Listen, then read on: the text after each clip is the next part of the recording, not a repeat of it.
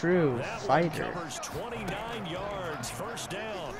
First down, Jaguars. Got a man. All right, all right. complete.